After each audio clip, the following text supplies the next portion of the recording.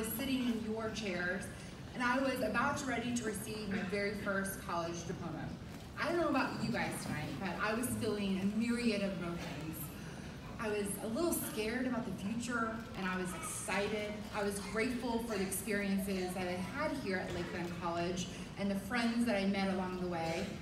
I was relieved that it was over and um, you know, wondering how two years of my life went so quickly, all at the same time, and I may or may not have also been crushing on a boy from the John Deere program.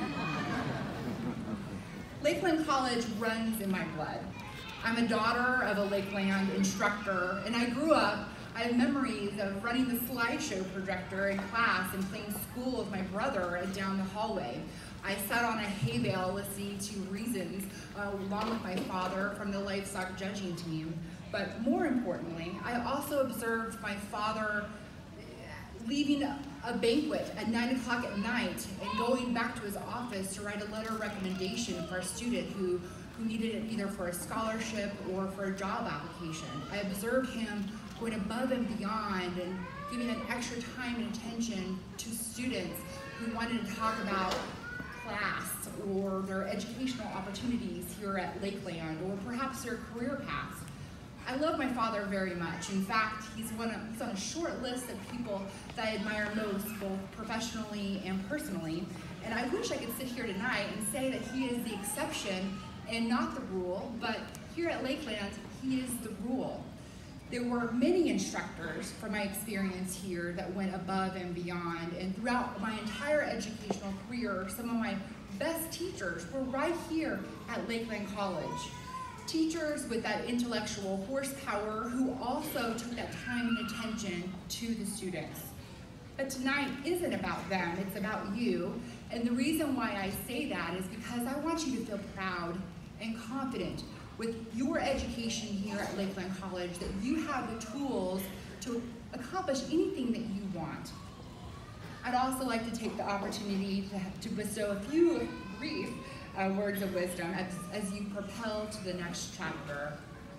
First, embrace your own path in life. It's natural to see people that are successful and to want to emulate them, me included.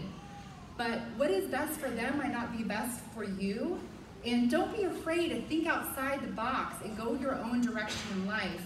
When I started my own food and agriculture law practice, in New York City, the most densely populated city in this country, there were a lot of people who thought I was a little crazy. I got a little sick and tired of hearing jokes about tractors in Central Park. But uh, you know what? It worked for me, and it ended up being the perfect next step for me in my that stage in my life. And besides, from a business standpoint, I was the only agriculture attorney in New York City. Second, fail fast and fail forward.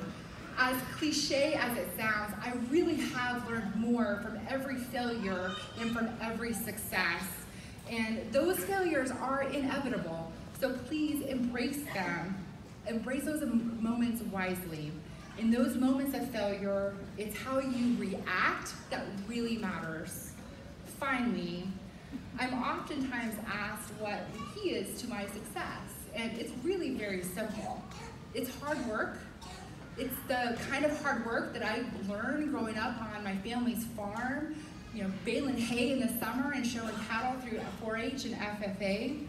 No matter what has been in my career, whether or not I was planning an annual meeting for New York Agri-Women, or planning a webinar for the American Bar Association, or prepping for a trial like I had to do last Sunday night. It was hard work, that got me through it. We all have different God-given talents and abilities. You will never hear me say that I think that I am the smartest or most knowledgeable person in the room, but I do know how to work hard. And I want to challenge each of you that no matter what direction that you, you leave here tonight and go, please not be afraid to roll up your sleeves and get your hands dirty because that may just be the key to your success.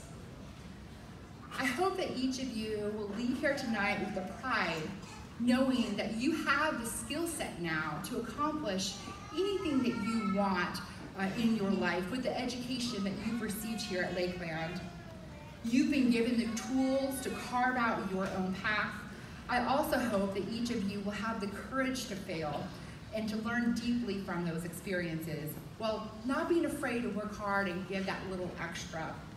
And remember, in the words of Senator Cory Booker, life is about purpose, not position. Live a life with purpose to go out and to be leaders and servants in, your communities. Thank you and good luck.